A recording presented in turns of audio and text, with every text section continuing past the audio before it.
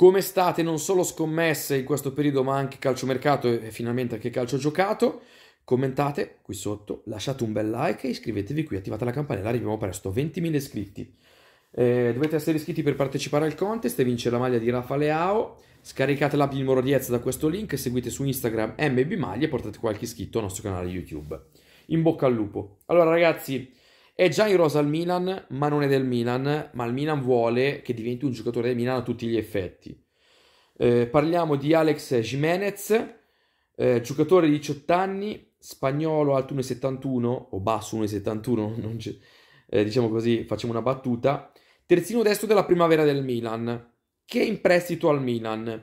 Lui fin qui ha fatto un campionato con quattro partite, una di Coppa di Primavera, due di Youth League senza segnare, senza fare assist, però sta dimostrando delle qualità notevoli soprattutto in fase di spinta. Nonostante il fisico è uno che va, si butta e ha delle qualità davvero interessanti in fase di eh, proposizione là davanti, anche se a livello numerico non ha fatto né gol né assist.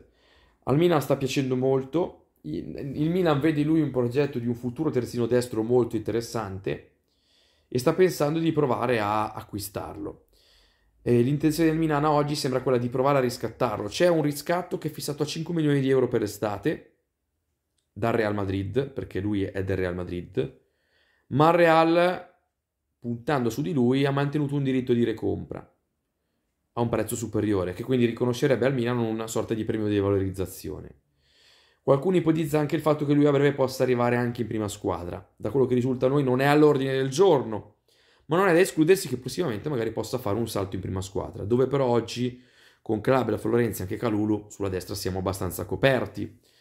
Attenzione però perché Mina vuole comprarlo e a quel punto sta al Real decidere se lasciarlo oppure esercitare la recompra con il Milan che avrebbe un premio di valorizzazione. Lo state seguendo?